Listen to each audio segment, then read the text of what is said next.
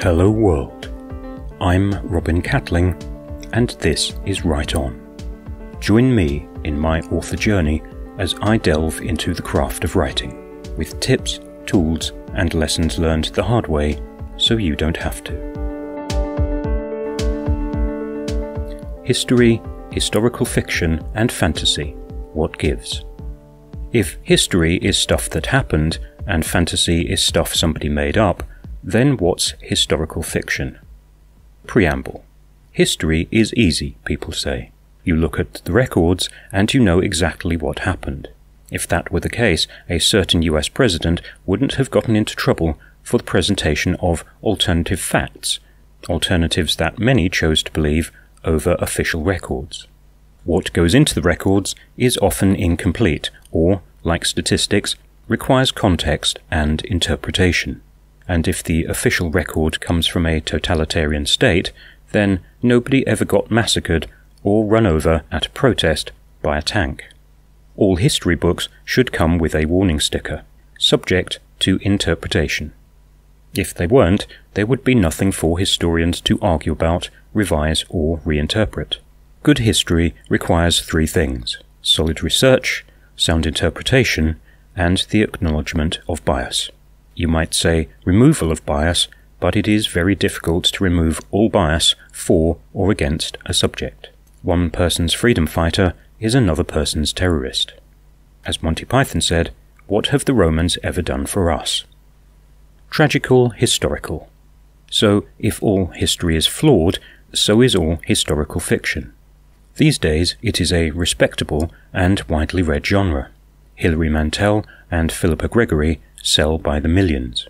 Historical fiction authors interpret, filter, and join the dots by imaginative leaps to tell the stories of real people they don't know. It's been going on since the Old Testament, the Talmud, the Quran, and other significant texts that are supposedly historical documents, but which have been edited and re edited, often, as in the case with the Bible, heavily edited and reinterpreted according to the political and religious agenda of the commissioning editors. There are many historical novels where you question the accuracy of the history parts. Authors may or may not carry out thorough quality research. They may choose to emphasize or ignore certain parts to suit their purpose. When it comes to character, this is an imaginative exercise. The historical person's written words or reported quotes appear, but the interior monologue is pure speculation. The reader cannot judge whether the historical novel is accurate even if they do the same hours of research from the same sources as the author. Experience, agenda, and bias get in the way of interpretation. Historians have this problem themselves. It's good for a reputation building bust up with one's peers, I suppose. It's no different from reading multiple biographies of the same person and discovering a totally different character, ascribed with wildly different personality traits and motivations. Getting on with it.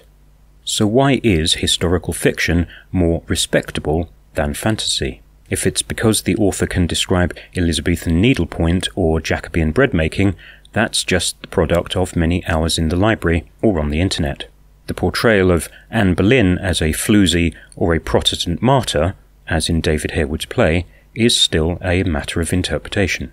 Historical fiction is just that fiction. It might have the real Battle of Bosworth as its setting, 1485, there you go, I learned something accurate. That may be the sole historically accurate fact in the whole fiction.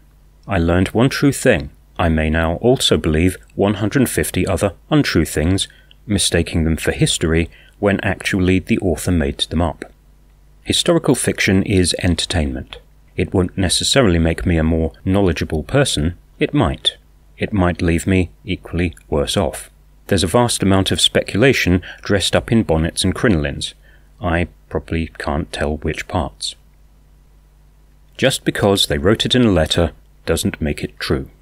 Famous people, important people, ambitious people all have one eye on their legacy when they commit anything to paper. You can beg for an alliance with your best friend right up to the point you stab them in the back. You can claim to be a devout follower just to keep your neck off the block. who really knows, other than the subjects themselves, what someone really believes?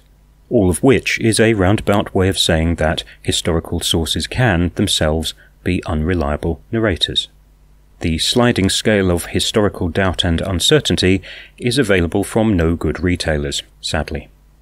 All of which has what to do with fantasy fiction. For me, the fantasy and sci fi genres are honest. The author declares, I made this up. It's lore and history that never really happened. So what? It's primarily entertainment. It may contain a huge slice of satire, as in Gulliver, or political commentary, as in 1984 Fahrenheit 451, in ways that other genres can't tackle. The speculative genres always hold up a mirror to our societies and values in the time they are written. They're an invitation to enter the world of the imagination, to question received wisdom, and learn about values along the way. Take it or leave it, but don't pretend your latest Plantagenet princess is a placid damsel in distress or Lara Croft in a French hood. She was probably neither. Probably. Chapter 1 In a hole in the ground there lived a hobbit.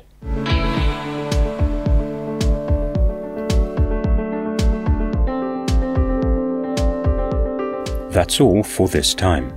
Thanks for stopping by. You can like and subscribe to the channel for more tips, or visit robincatling.info to check out the blog.